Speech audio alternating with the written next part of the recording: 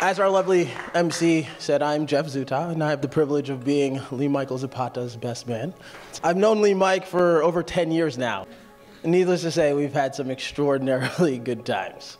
And those good times, in and of themselves, and the bonds that those good times created, would be more than enough to sustain a fulfilling and sincere friendship. He's loyal, he's committed, he's got your back. God, how do you how do you become much better than that? You can't be a much better person than that. And at the moment when you think that happens, well, Val comes along.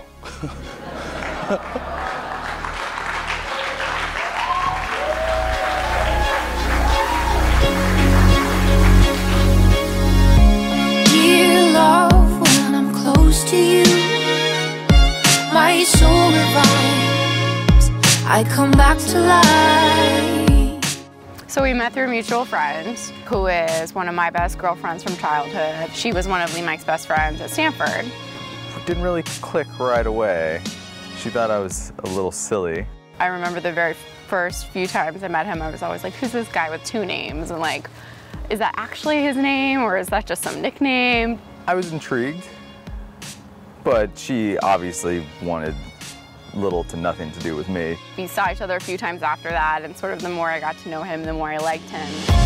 There's no space in between us. Take my hand and we'll leave, 'cause we are the dreamers. You'll be Mars, I'll be Venus.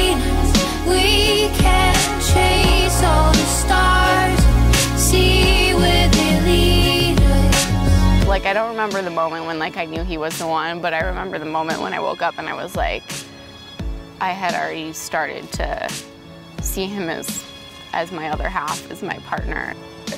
And I don't know, it's one of those things where like you're kind of out like hanging out with friends, like having a good time, and then the crowd kind of parts and there's this girl and you're, that's it. There's no space in between us. Take my hand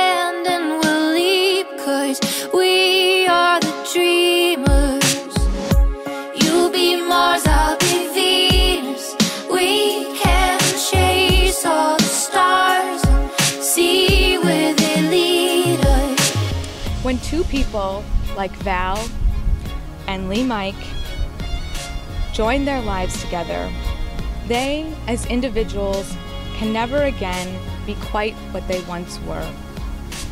They are forever changed and forever changing in ways that are subtle and in ways that are profound.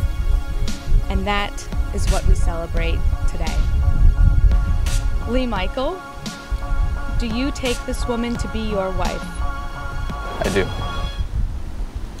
Valerie, do you take this man to be your husband? I do. The, the wedding is great, but at the heart of it, it's about the two of us. Seeing each other and grounding each other, and just everything else from there on out is just fun. That's how I see it. Now that you have shared your vows with us today in front of your closest friends and family, it is with tremendous joy that I now pronounce you husband and wife. You may now kiss the bride. Yeah.